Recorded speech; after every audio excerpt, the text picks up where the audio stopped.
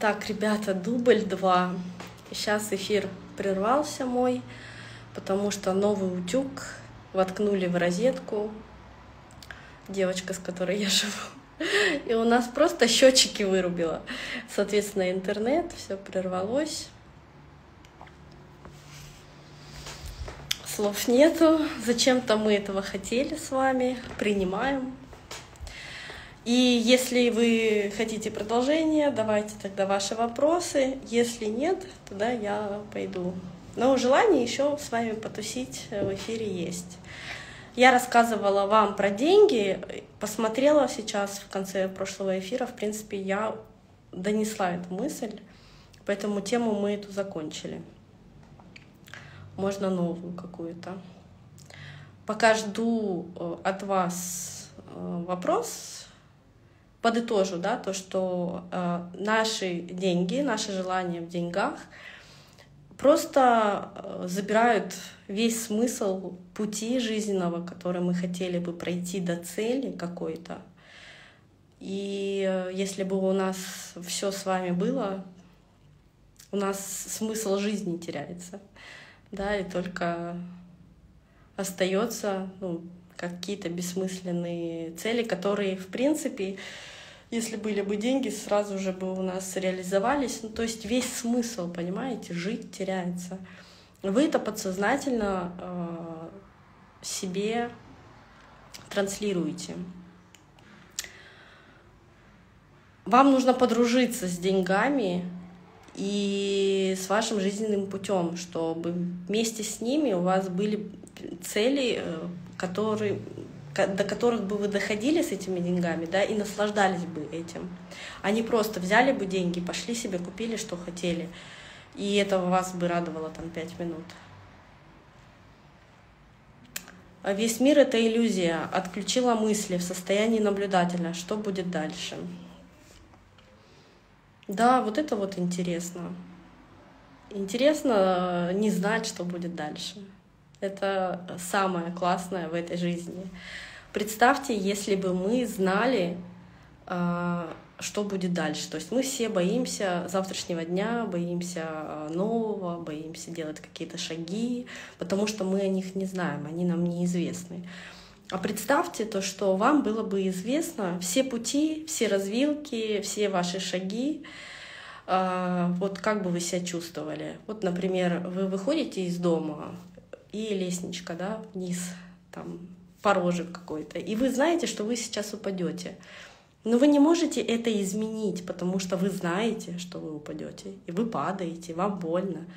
И вы знаете каждый шаг, кого вы встретите, кого вы не встретите, там 1500 партнеров там поменяете, или там э, работы, или еще что-то. И если бы вы все это сдали, ну, например, что там 31-й мужик будет вашим мужем, а все остальные так, мимо проходящий, вы бы на них бы не остановились бы никогда, да, и вы просто сидели бы и смирно ждали бы 27 лет, пока там не вышли бы замуж. То есть э, знать следующий шаг, когда вы там умрете, упадете, э, что вам скажут, да, жизнь потеряет весь смысл. То есть э, это очень страшно знать следующий шаг, что вы услышите, что вы скажете, где вы упадете, поранитесь, там, не знаю,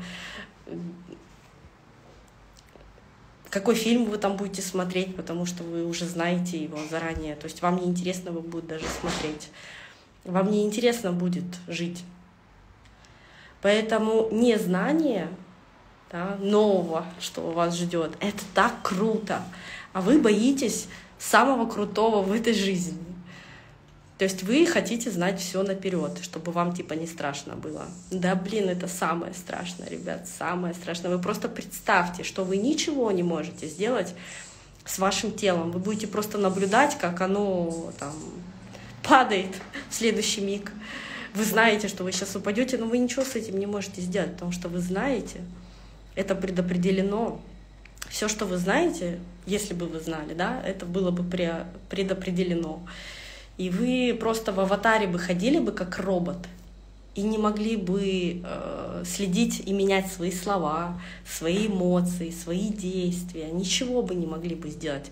Представьте, просто вот ходит робот в ваше тело, а вы э, в нем сидите как наблюдатель и ничего поделать не можете, потому что вы знаете каждую секунду, каждый миг следующего ну, во всей вашей жизни. Представьте, да, как это круто. Это страшно, когда вы не можете повлиять ни на что, когда перед вами нету никакого выбора, потому что вы знаете. И если вы сейчас это в голове проживете, вот после эфира возьмите и прям представьте, что вы вот знаете ближайшие 10 минут, как вы его будете проживать. И вы ничего не можете изменить, потому что если бы могли, вы бы не знали. Правильно? Вот это и страшно, что вы не понимаете, что весь кайф в незнании. Вот это самое страшное, что вы хотите, ну, можно сказать, э, самых страшных вещей. И вы не понимаете, что они страшные. Вот. Аж так мне полегчало, я выдохнула, боже, как классно, что я ничего не знаю, и что меня ждет, это ж так интересно. Жизнь, она и интересна тем, что мы каждый миг новый творим, куда нас занесет дальше наши действия, наши слова, наши мысли. Это, это интересно.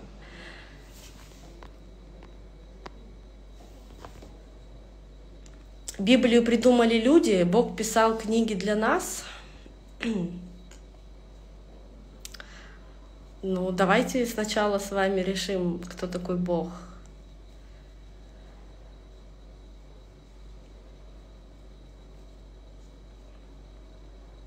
Ну, в той интерпретации, в которой она записана, я думаю, что ее записали люди. Но если копнуть глубже, то э, та информация, которая там содержится, это, можно сказать, дневники Бога, который не является тем, что мы думаем о нем, потому что это существо не из нашего мира, да, которое нами управляет э, и управляет для своих эгоистичных целей. Вот, мы для него как батарейки.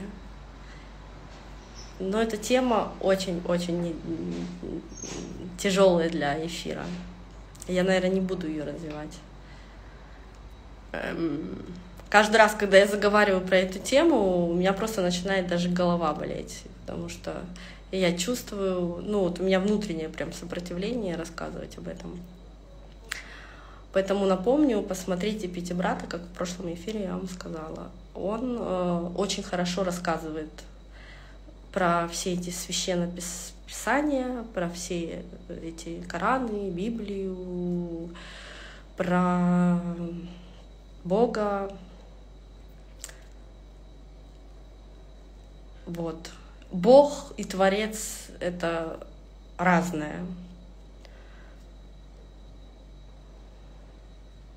Может, глобалисты написали для нас, чтобы управлять. Не буду даже рассуждать на эту тему. Зачем глобалистам это нужно? Есть ли они вообще? Да? Мы можем только гадать.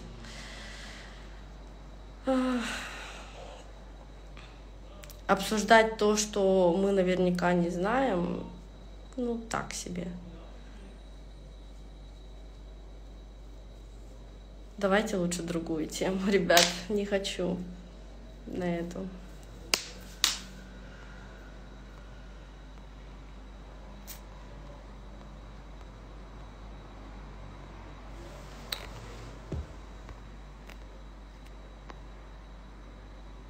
Какая тема эфира? У-ху!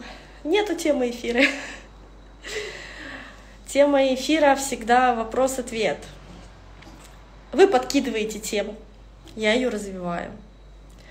Задаете вопросы, я на них отвечаю. А, это мое любимое, потому что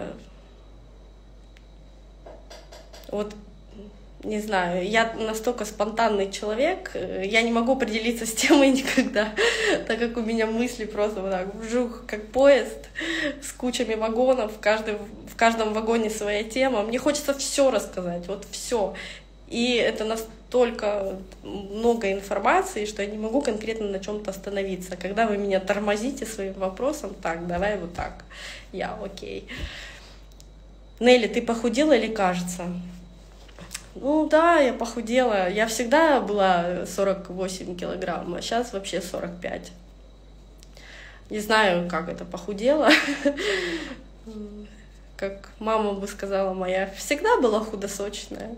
Сегодня сделали рентген. У дочери младшей пневмония правосторонняя. По психосоматике. по психосоматике.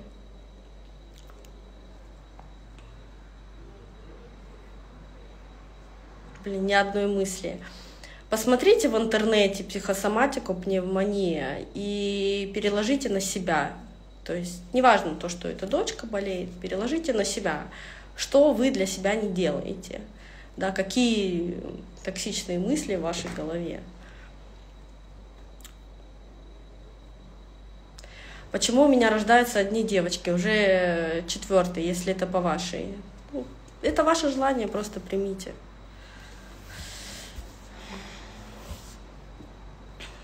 Как обучиться навыкам, про которые слышал, но не знаешь их процесс и реализацию? Узнать. Копаться, инфа придет. Искать. Что еще об этом сказать? Боже мой вопросы такие, что у меня нет ответов на них. Либо они для меня кажутся такими странными. Нелли, что думаешь о расстановках? После поле определяет расстановщик, и насколько ты считаешь эффективным. Я не занимаюсь расстановками, я не готова судить о том, чем я не увлекаюсь. Не скажу. Высокая температура несколько лет. Э, Но ну, здесь надо понимать, высокая температура — это нормальное состояние, то есть человек себя нормально при этом чувствует. Если нормально, ну, то есть пускай, э, ничего страшного. Если при этом плохо человеку, да, все время чувствует усталость, э, то надо посмотреть про тип питания. Чем питается человек, чем он себя травит. А питание, конечно, зависит от психосоматики. Пер, первично, конечно, это наши мысли в голове. Э, и уже эти мысли определяют, э, как их реализовать во внешнем мире. Но во внешнем мире быстрее всего на тело, которое нам подало бы сигналы с нами, разговаривало бы и сказала, о чем это. Э, на него надо как-то повлиять тоже физически, тело физическое. Поэтому еда — первый признак, на который нужно обратить внимание что вызывает температуру. Температура, если всегда была нормальная температура, там 36,6, и вдруг она стала ненормальной, то это постоянная борьба. Борьба внутри головы, конечно же, да, и борьба тела с внешними какими-то факторами. Внешние факторы — это отравление. И надо пересмотреть свое питание. Опять к нему возвращаюсь. А если меняя внутреннее состояние, реальность меняется через какое время? Да нету тут никаких э, временных промежутков, потому что времени не существует. Мы всегда себе транслируем ровно то, что в данный момент э, есть в нашей голове и тем, кем мы являемся. Э, не факт, что ваша реальность не поменялась миллиарды раз, вы просто этого не помните. И в данную секунду, если оно транслирует что-то, значит, на это обратить надо внимание здесь, сейчас.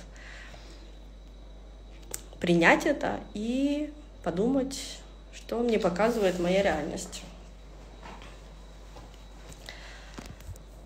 Вчера, может быть, у вас были другие родители, другое местоположение, другое тело, вы были мужиком пятилетним.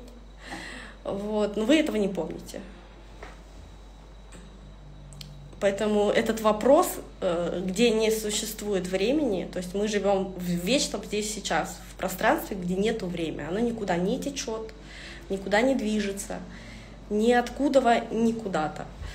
Э, время определяет ход наших мыслей. Это не время течет, а мысли наши текут. И э, если мы в голове не меняем никакие шаблоны, наши программы, то то мы наблюдаем, ну, одно и то же, можно сказать, да. Но мы можем не знать, что у нас были какие-то другие программы, другие шаблоны 10 минут назад. А может, мы их так э, поменяли, что мы просто этого не помним. Наше прошлое складывается из точки здесь сейчас. Оно подстраивается под наше настоящее для того, чтобы уму было понятно, почему в данный момент, здесь, сейчас мы имеем то, что имеем, и начинает нам образами, картинками, воспоминаниями, которые сейчас, в настоящий момент создаются, проецировать нам прошлое, которого не было, не существовало. Мы всегда в настоящем моменте живем.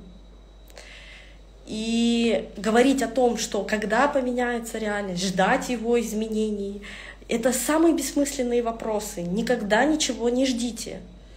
Ваша задача, с которой вы сейчас проживаете в этом теле, эту жизнь, только в единственном, в единственной цели состоит. Принять ту реальность, в которой вы живете, и наслаждаться ей. И находить в ней э, развитие свое, плюсы свои, там, благо свое, радость потому что весь смысл понять себя. Вот. Э, но мы находимся э, не в настоящем моменте. Мы всегда эту жизнь э, шлем нахер. Мы находимся в иллюзиях, в розовых очках. Мы пытаемся менять следствие реальности уже ну, материальный мир, который не является тем, как сказать, тем настоящим, кто мы есть, что мы есть, чем является наша жизнь. Мы пытаемся поменять то, что уже произошло. Это уже невозможно. Это можно только принять. Принять и понять, что у меня сейчас в голове, кто я такой, чем я это творю, почему я это творю, для чего. Вот. Э, менять себя только никак не внешнее. Это бессмысленная борьба с ветряными мельницами, менять внешний мир, который уже произошел, который уже есть, который мы создали, понимаете, с вами. И это ненормально э, жить в будущем, жить в ожиданиях. Это ненормально. Нормально жить сейчас, наслаждаясь каждым мигом в моменте, который мы, к сожалению, упускаем. И мы будем умирать множество раз, делать себе там, лоботомию, делать себе, уходить в забвение, чтобы избавиться от всех этих шаблонов, опять этих, от этих привязок к внешнему, от этих программ для того, чтобы заново учиться до тех пор, пока мы не научимся жить.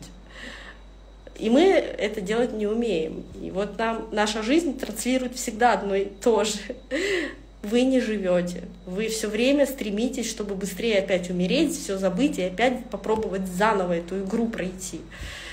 Э, только потому, что вы пытаетесь менять э, декорации игры, да, но не понимаете, что вы в ней находитесь и как вы ее создаете. Но чтобы это все понять, да, вам нужно играть в нее, в эту игру, да, играть в эту жизнь. Не знаю еще, какими словами вам объяснить. То есть гонка за внешним поменять то, что вас не устраивает внешне, это самое бессмысленное, что можно вообще делать, потому что э, вся эта борьба только порождает бесконечную борьбу и неудовлетворенность, бесконечную неудовлетворенность, да, нету ни радости, ни энергии, мы только боремся, боремся и боремся. А вот принять вот это вот, да, это самое сложное для чего я это создаю, да, кто я есть. Вы продукт всего, что вокруг себя видите. То, что вы видите, вот все материальное, это тоже вы. И все состоит из вас. Каждая песчинка, каждый человек, каждое событие. И вы себя через этот мир, проживая его в настоящем моменте, можете познавать, кто вы такой, да, и почему вы воплощены именно в этом. Но ваши мысли ум вводит только для того, чтобы изменить внешнее, да, и э, чтобы он не смотрел на внутреннее, потому что уму это невыгодно. Ум нашел лазейку к нам, а мы это не ум, мы это не тело, мы совершенно другое. Даже представить это невозможно. Все, что представит ум, это уже не мы. А, это уже иллюзии, можно так сказать. И ум нашел лазейку, чтобы мы ему поклонялись, верили. Это уже целая сущность, которая сосет из нас энергию, да, а, живущая отдельной какой-то жизнью, которую мы напитали своей энергией. И он перетягивает одеяло на себя. Типа, посмотри, какой я классный ум. Я тебе рассказал, как вот сделать вот эти шаги, и ты их так быстро достиг. Пойдем к следующему желанию, пойдем к следующему желанию. Он все время забирает бразды правления от вас, творцов, которые вот это вот все творят. Присваивает себе, и вы ему поклоняетесь и верите. И становитесь полными жертвами этого ума. Ну, то есть всю силу свою, как кузнецы своей судьбы, там, счастья своего жизни своей, да, отдали уму, который вами не является. И вот этот ум все время заставляет вас гнаться за желаниями, за изменениями, э, сопротивляется всему, что вокруг происходит. Давай быстрее изменим, давай быстрее изменим. Вот. Но это не вы.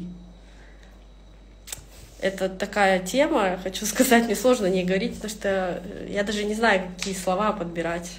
Ваш ум начинает просто вот так вот извилины свои, вау, что она несет, он сопротивляется. Так.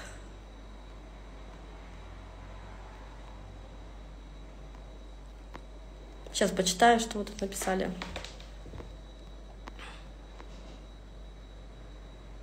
Шаблон раньше было лучше, мешает жить. Да, согласна. Что бы ни случилось, мы всегда возвращаем себя, а вот тогда было лучше. А все почему? Потому что с каждым днем наш ум обрастает вот такими гигантскими шаблонами, убеждениями, которые нас тормозят во всем, да, быть счастливыми и радостными. Действительно, раньше было лучше, но не потому, что это раньше э, в моменте там с другим правительством там или, а потому что мы тогда были детьми. А, чем ты больше юн, тем меньше в башке шаблонов. Чем меньше опыта, тем счастливее ты. Потому что э, опыт откладывает определенный отпечаток с какими-то негативными последствиями. И мы уже боимся что-то делать, потому что а вдруг опять не получится, а вдруг опять получится то, что нам не понравится. Вот, мы все боимся этого опыта, и отсюда вот все наши вот эти убеждения, шаблоны от негативного опыта, да, нас тормозят. Естественно, когда нас все тормозит, наш ум нас останавливает от действий, от радости, от счастья, от делания того, что мы хотим, от проживания вот радостного момента вот этого. Он нас тормозит, и, естественно, нам не нравится этот момент. Мы хотим туда, обратно, где мы еще не зашоренные информацией, не зашоренные своим умом, не зашоренные опытом, который был негативный, правильно? Поэтому нам и кажется, что раньше было лучше. С одной стороны, да, так и есть. Раньше было лучше. Но с другой стороны, это раньше, оно и сейчас такое же. Э, никто извне вам не мешает сейчас опять э, стать чистым листом, ребенком, найти в себе этого маленького ребенка, который хочет жить, познавать новое, улыбаться, радоваться, чего-то хотеть, э, гулять по лужам, не знаю, там, изучать что-то, смотреть на что-то, восхищаться чем-то, э, беззаботным быть. Вам это ничего не мешает вот сейчас вспомнить в себе этого ребеночка, пожалеть его, что, блин, маленький мой ребеночек, я о тебе забыл внутреннем ребенке, да. Ну, наконец-то я тебя нашел, и сейчас давай мы с тобой подружимся, наконец-то. И я разрешу тебе наслаждаться этой жизнью, жить просто вот, не останавливая себя ни от чего. Пофиг, что там люди скажут. Да какая разница на эти правила? Э, мне все равно на их мнение. Зачем я слушаю мнение? А что люди скажут? Это моя жизнь. Вот дети, они не слушают. Да, они родители, конечно, слушали. Но сейчас мы выросли, у нас позиция, если взрослого, да, не ребенка, она еще лучше. Потому что тогда у ребенка были авторитеты, которому нужно было поклоняться, служиться, чтобы ребеночка любили. А сейчас мы сами ответственны за свою жизнь. Сейчас нам вообще никого не надо слушать, даже вообще никаких авторитетов. Понимаете, и родителей нам не надо слушать. То есть у нас позиция намного лучше.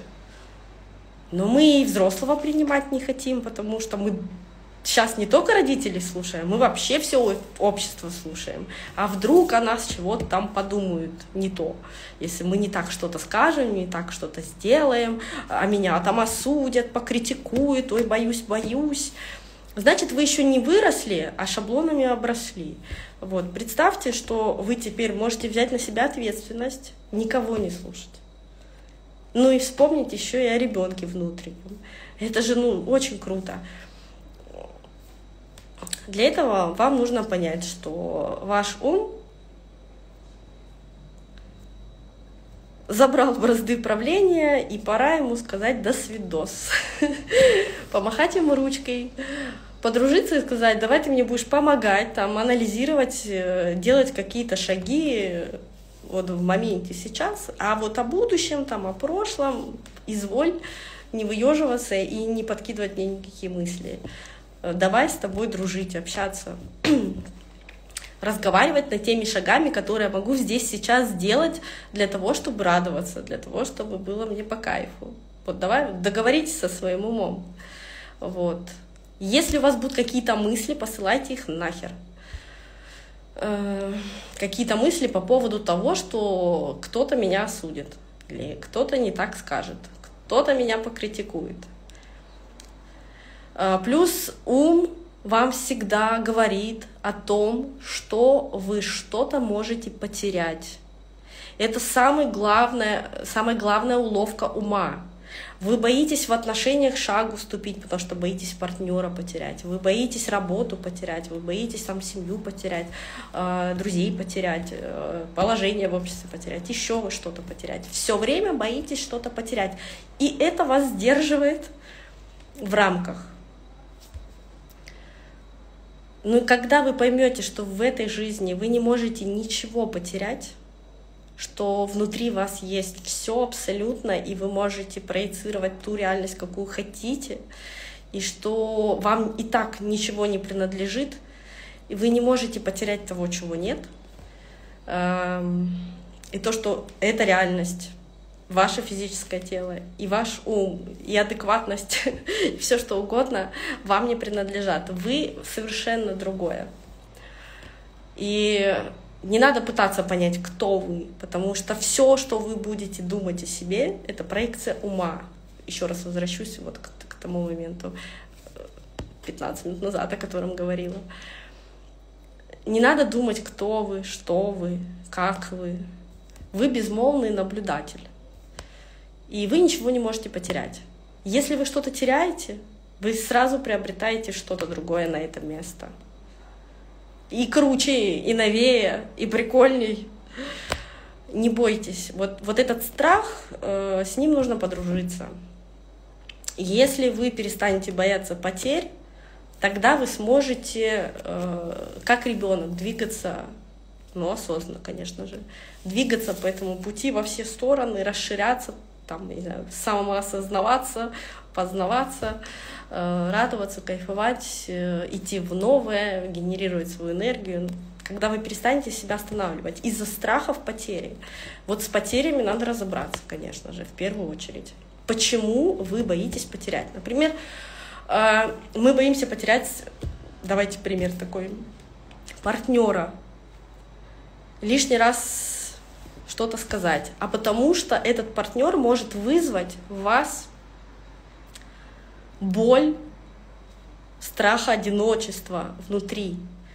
И мы ее, эту боль, которая в нас есть, настолько внутрь глубоко запрятываем, что нам все время приходится общаться с такими людьми, которые нас предают, уходят, и мы их теряем, чтобы мы эту боль вытащили, потому что она наша внутренняя, никак не связана с теми людьми, которые приходят в нашу жизнь, и которые уходят из нее. Пришли такие, а, бери меня, давай сейчас э, поженимся, замуж выходи, или там женись, там все что угодно, давай семью создаем, и потерялся по-английски. Это все делается нами, в нашей реальности, только для того, чтобы вытащить э, этот страх и проработать его, посмотреть ему в глаза и понять то, что вы не одиноки. Весь мир — это есть вы. Что вы не можете себя потерять, не можете себя приобрести, э, и вас нет, и вы есть одновременно, и вот этот страх одиночества все время, если у вас есть этот страх, да, все время будет выдавать вам вот эти финтифлюшки внешние, да, вы все время будете получать партнеров, которые будут от вас уходить бесконечно. Вы будете снова и снова эту боль проживать, пока не поймете, что вы боитесь потери. Но эта потеря и боль про вашу душу. Это ваша внутренняя боль потерять себя. И пока вы не осознаете то, что это боль про вас, про вашего внутреннего ребенка, про вашу душу, то вы будете во внешнем мире показывать себе эти картинки с плохими петрушками, которые все время вас будут бросать. Э, когда вы понимаете, что э, я не боюсь остаться одна, я выживу один, одна, и что я себя не потеряю, внутренний ребенок со мной, то, что я э, готова жить радостно, там, сознавая этот мир, кайфуя, радуясь, идя в новое, э, что неважно, какие персонажи и петрушки рядом с вами, да, вы будете продолжать спокойно свой жизненный путь. Если вы не боитесь, то во внешнем мире реальность будет вам всегда показывать, что рядом с вами всегда намертво прилепятся люди, которые от вас никогда не уйдут, не отлипнут и всегда будут с вами.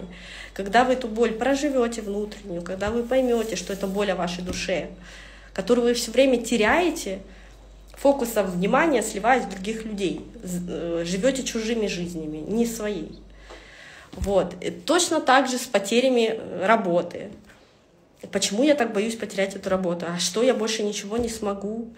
А может быть, мне путь такой дан, что я могу, потеряв работу там, сантехника, пойти выучиться на кого-то другого и приобрести смысл еще более э, там, масштабней и кайфовей, обучаясь на электрика, там, я не знаю, кого угодно. Это такие просто банальные примеры смешные.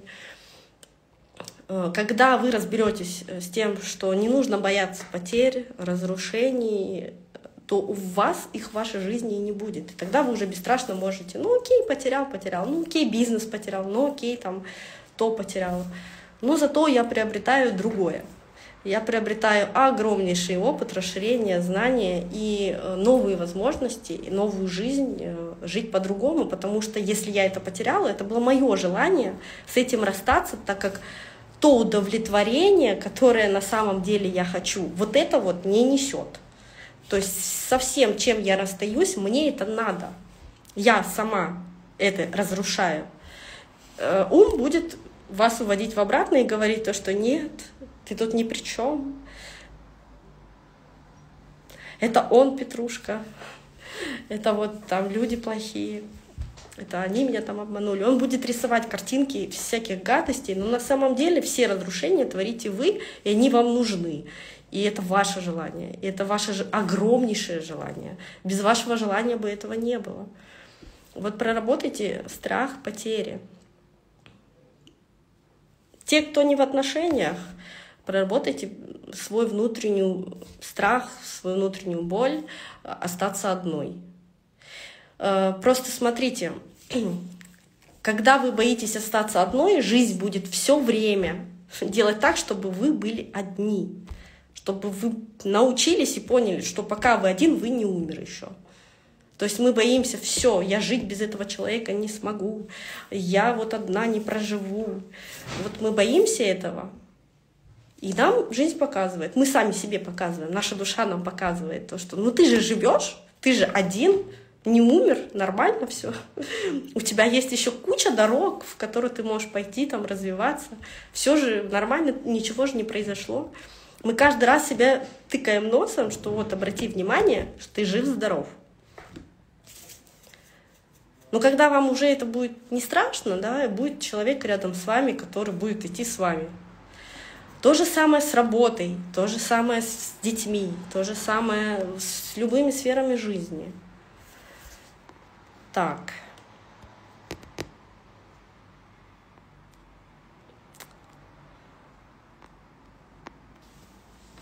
То есть я и раньше это слышала, я а поняла только сейчас. Этот эфир тоже для меня.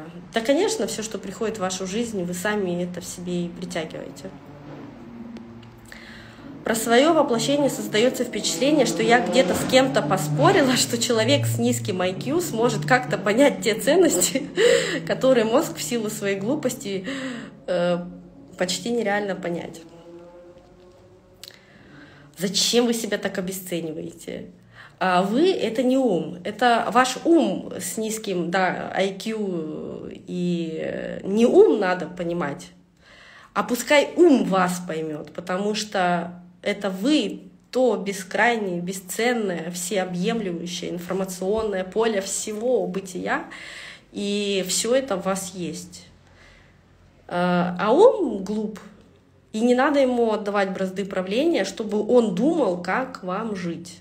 И анализировал, строил планы, там, задачи ставил. Планы, цели — это хорошо. Это наши ориентиры, чтобы по ним идти, наслаждаться вот этим пройденным путем, Сама цель не важна. Она важна тем, что есть просто какой-то ориентир, чтобы не стоять. Но смысл в этом ориентире нет. Вы можете его менять. Можете менять ориентиры все время, переобуваться и каждый раз хотеть э, новое. И хватит слушать ум. Когда слушаю эфиры, ум опережает и говорит в голове, что ты скажешь, и это совпадает. Что это? Но это интуиция, наверное, с одной стороны, да, на физическом плане. А так вы на самом деле все это знаете. Ум блокирует от вас информацию. Вернее, вы сами блокируете информацию через ум. Зачем? Непонятно. Ну, надо с этим разбираться. Похоже на шизу.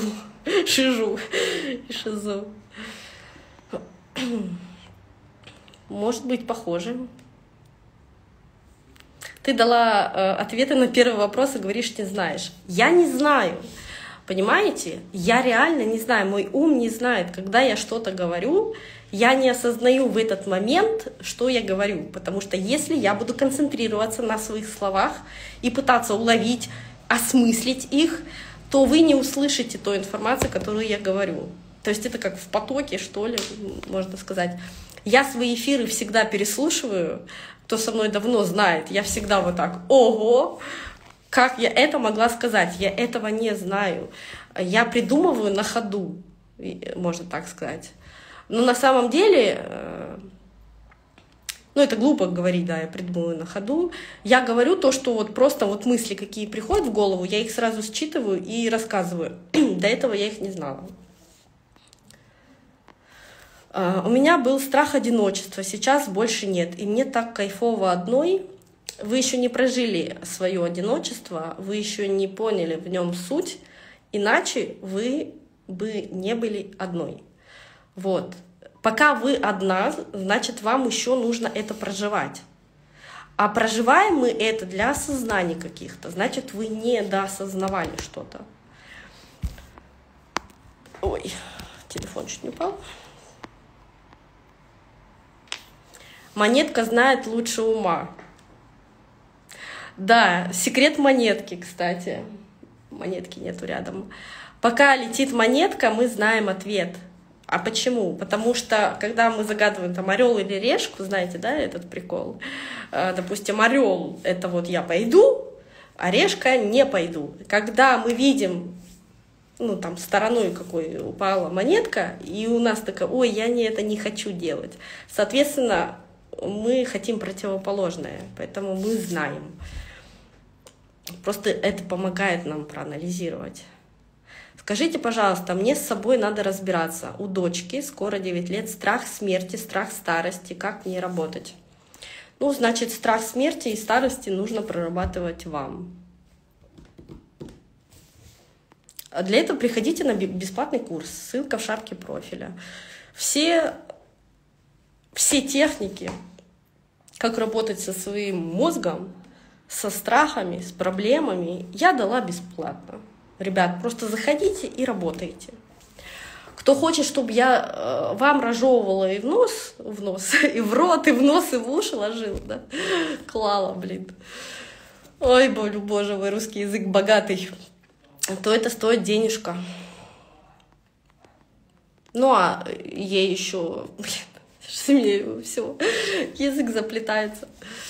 Э, я еще все ответы дала во всех видео их несколько сотен. Было 500, сейчас поудаляла, где-то 400 видео осталось на YouTube. Я имела в виду, монетка лучше знает, что делать. Иногда мы не хотим что-то делать именно из-за страха. Иначе не кидали бы ее. Да, я вас поняла, да. Но не факт, то, что монетка упадет той стороной, то вам и надо делать. Нет, вам надо будет сделать то, что вы захотите, потому что часто монетка упадет той стороной, которая вам не нужна. И вы сразу будете об этом понимать что, о, все-таки я хотел решку, там, а не орла. А кто-то идет на перекор монетки, да, на перекор своей интуиции и получает потом по башке. Ой, блин, ну же решка же выпала, это уже так переложили на монетку ответственность и все. Но фишка в монетке другая, что когда она падает, вы уже знаете, что вы хотите, чем ей упасть, какой стороной. либо чтобы она вообще не падала. Ох, помню, раньше у меня в эфирах было сотни людей, сотни, сотни, сотни. Сейчас 30 человек. Интересно, это мое желание так повлияло, чтобы очень мало народу слушало? Или через VPN никто не хочет сюда заходить, и надо какие-то другие каналы да, эфиров искать, где все будут тусить? Скажите, пожалуйста, через какие каналы еще можно эфирить? Может, в YouTube выходить в прямые эфиры? Не знаю. Никогда, кстати, этого не делала. Но там мне народу мало.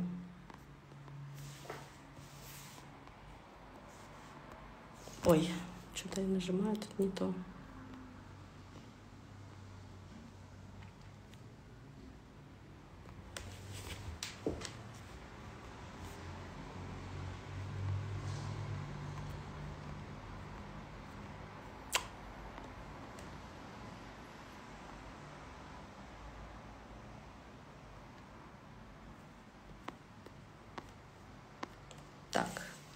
Коротенько почитала ваши сообщения. Я слышала, наоборот, нельзя делать наперекор монетки. Ну, я слышала, там тоже вон бабки на заборе, ой, на заборе, на лавочке сидят, а на заборе там орган написано. Мало ли что вы слышали, вы как бы сами проанализируете, зачем кидают монетку. Надо ли передавать ей простые правления, или все-таки вы умнее монетки? А в ТикТок не пробовала. Ну, где-то года два назад или год пробовала, тоже не зашло. Я не умею записывать красивые видео, делать короткие видяшки. Мне все говорят, давай там рилсы. Коротко и емко у меня не получается. Ну, только вот в диалоге, когда у меня есть э, зрители, когда у меня есть аудитория, которая задает мне вопросы, мы ведем диалог, да, я могу общаться. Но стоит мне просто задать вопрос перед камерой, и никого нет в зрителях, я просто вот перед вот так монитором сижу, экраном, и я не, не, вообще не понимаю, у меня мысли нет, вот, просто вот ноль. Вот просто пустота в башке, понимаете? Если мне задать вопрос, я знаю на него ответ. Сказать не могу. А вот когда в диалоге, без проблем. Некоторые кидают, чтобы Вселенная ответила через монетку. Да нету никакой Вселенной, не существует никакой Вселенной. Вся Вселенная — это вы. Какая Вселенная? Кому вы там бразды правления отдаете? С кого вы там ответственность снимаете и кому ее передаете?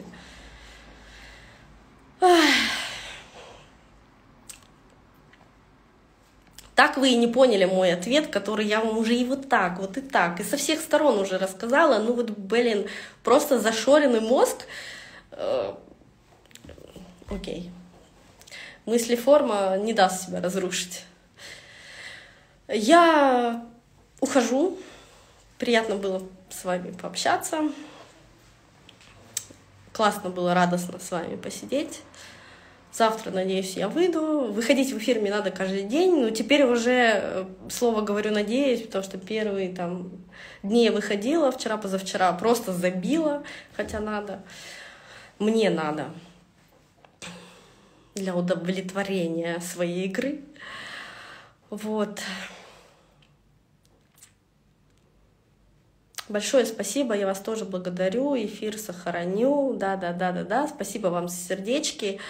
Э, кто хочет не пропускать мои эфиры, зайдите ко мне в профиль, нажмите колокольчик, чтобы оповещение было. Кто будет смотреть это видео на YouTube, там тоже есть колокольчик. Если вы будете мне писать э, комментарии, я буду видеть ваш отклик, обратную связь. Это будет бла-бла-бла-бла-бла. Это будет бла-бла-бла-бла-бла. Делать энергообмен со мной. Это будет мотивировать меня дальше вещать. Ну, на самом деле, все это херня. Это просто потешить мое эго, э, которое я очень люблю.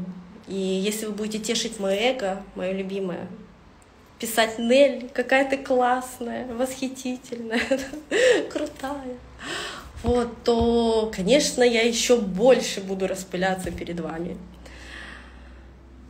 Эм, Все делаю в своих эгоистичных целей. Это правда жизни. Целую, обнимаю. Э, комментарии очень хочу, чтобы это меня потешило. Потому что я, как и вы все, хочу, чтобы меня все любили, чтобы э, все купали меня в своих овациях, обнимашках, э, вниманием.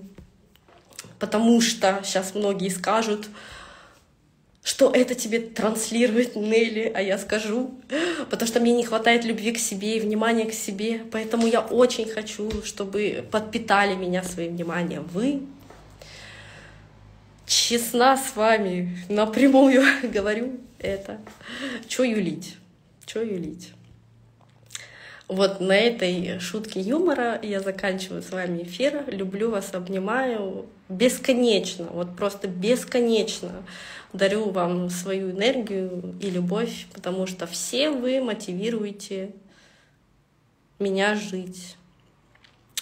Это да, это вот так и есть, потому что мы с вами целое, и каждая клеточка, которая желает жить, делиться с другой, э, обмениваться микро-макроэлементами, питательными веществами, да, подпитывать, размножаться и так далее. Да. Она дает э, всему организму быть здоровым, там, целым, счастливым и так далее.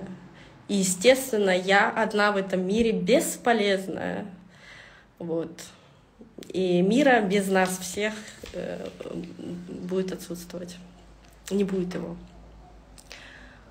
Поэтому давайте друг друга мотивировать, жить, кайфовать, радоваться, помогать друг другу, дарить любовь, дарить внимание максимально с благодарностью каждому, кто встречается на вашем пути.